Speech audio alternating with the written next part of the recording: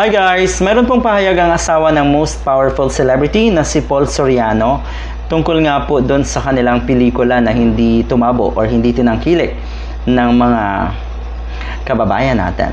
Maraming salamat naman at alam niyo po kung anong pelikula ang dapat suportahan.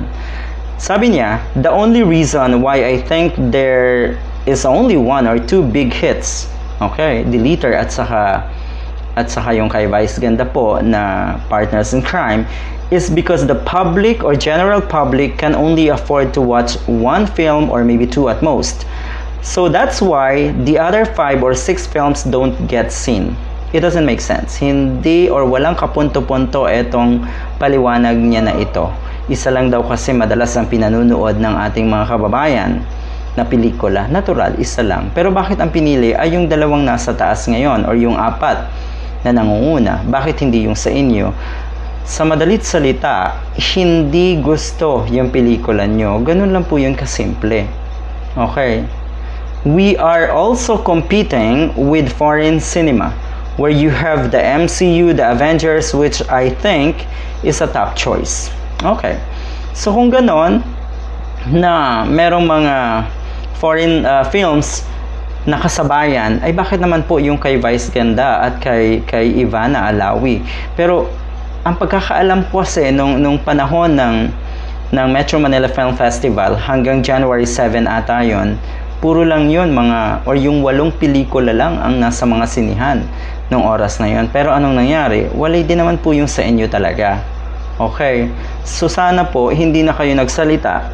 Mas maganda pa kesa po gagawa kayo ng palusot na parang niloloko nyo na naman ang sarili nyo at ang mga followers nyo at naniniwala sa inyo pakunti ng pakunti po yan dahil sa mga ganito yung pahayag na hindi talaga or wala talagang kasense-sense Okay. Mahilig po kasi kayong gumawa ng palusot. Una magyayabang. Pag hindi na-meet or pag hindi nakuha yung ipinagyabang, gagawa ng palusot. Minsan ay sinisisi ang iba. Hindi po maganda. Okay, Mr. Paul Soriano. So, anong nangyari? Basag po kayo sa mga netizens ngayon. Sabi ng isa, I think most of the 31 million are too poor and they can't afford to watch a movie in cinemas unless you give them free tickets to watch your flop MMFF film entry.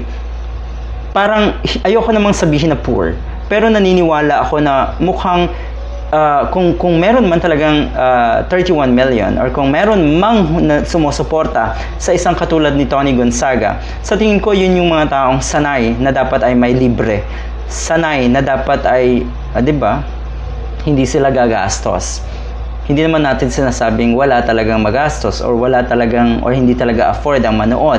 Pero baka nag-aantay lang kasi yung mga yan, ang mga free tickets. Sinanay niyo po kasi. So akala nila, etong, uh, etong movie ngayon ni Tony Gonzaga ay parang yung nangyari sa MIM na marami silang or maraming tickets na pinamunbod. 'Di ba? Siguro nag-antay ang mga yan. Alright. Siguro yung iba, antayin muna natin. Total, 'di ba? Hindi naman natin alam kung tayo ay magi enjoy sa movie na 'yan. Unahin muna natin yung tayo magi enjoy talaga at yun nga po ay ang kay Vice Ganda.